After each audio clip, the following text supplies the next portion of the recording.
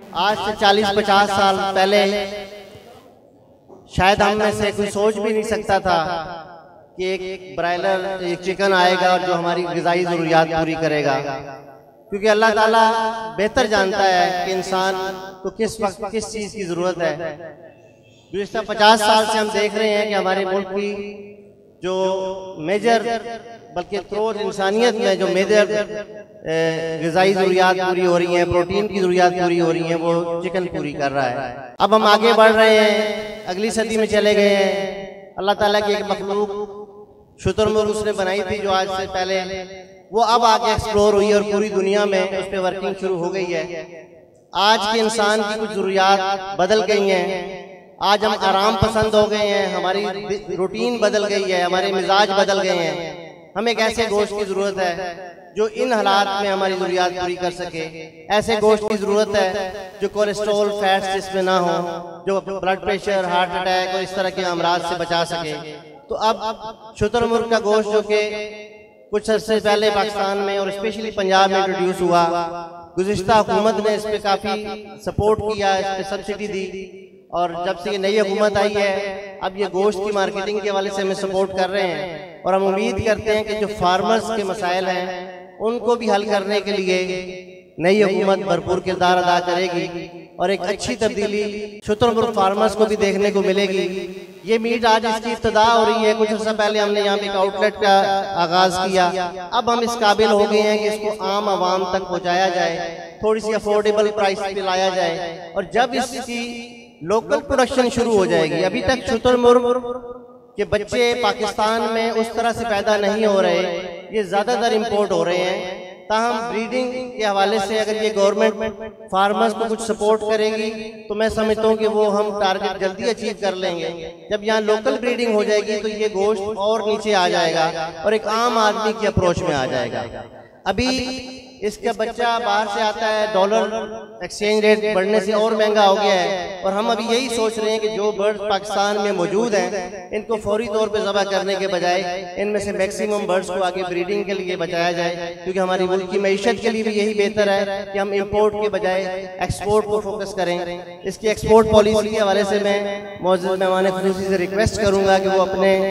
Government level پہ effort کر کے اور جلد از جلد اس کو ایکسپورٹ پالیسی میں شامل کیا جائے کیونکہ ایکسپورٹ کی ڈیمانڈ اس کی بہت زیادہ ہے، جس کی بیسک وجہ یہ ہے کہ شتر مرغ فارمنگ دنیا کی ہر ملک میں نہیں ہو سکتی، موسم کی وجہ سے یا کچھ اور حالات کی وجہ سے۔ پاکستان ان خوش قسمت ترین ملکوں میں ہے، جہاں پر یہ فارمنگ نہ صرف یہ کہ کامیاب ہے، بلکہ بڑی تیزی کے ساتھ کامیاب ہوئی ہے۔ صرف پچھلے سال میں پنجاب میں جو کہ گورنمنٹ سبسڈی دے رہی تھی، تو یہاں پہ چار سو سے زیادہ فارم صرف پنجاب میں بنے۔ ہیں اور چونکہ چکس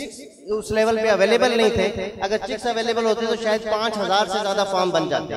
اب ہم ایکسپیکٹ کریں گے، امید کریں گے کہ موجودہ حکومت بھی اس انڈسٹری کی سرپرستی کرے گی۔ اور ہم یہ سمجھتے ہیں کہ جن انڈوں اور مرغیوں کی باتیں چل رہی ہیں، وہ شاید یہی انڈے ہیں جن کے بارے میں خان صاحب نے فرمایا تھا۔ شاید یہی مرغیاں ہیں جو ہم چاہتے ہیں کہ آگے فیوچر میں ہمارے معاشی مسائل کے حل میں کوئی رول پلے کر سکے۔ یہی وہ پوٹینشل ہے اس برڈ میں، اس پرندے میں اللہ تعالیٰ نے رکھا ہے کہ ایکسپورٹ کے اینگل سے دیکھا جائے تو صرف اس کی کھال، اگر اسے پروسیس کرا کے آپ بیچیں اور اس کو ایکسپورٹ کریں، اس کی پروڈکٹ بنا کے بیچیں تو کئی لاکھ روپے کی انکم دے سکتی ہے۔ لہٰذا اس بزنس کو ایک ایکسپورٹ اورینٹڈ بزنس بنانے کے لیے گورنمنٹ سے ہم صرف پالیسیز کی جو ہے وہ التجا کریں گے کہ اس پہ جو بھی فیوریبل پالیسیز ہیں لائف سٹاک ڈپارٹمنٹ کو اور جو بھی کنسرن لوگ ہیں